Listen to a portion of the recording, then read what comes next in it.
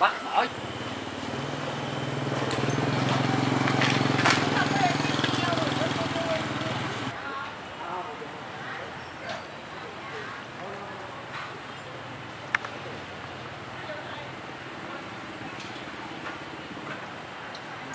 chuột dạ, mèo mèo với chuột bây giờ bạn bè.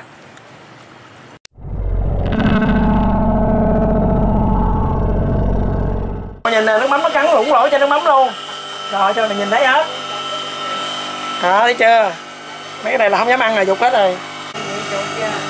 À, kinh dị chuột. Mốt là mình vịt thạch ở chung với nó luôn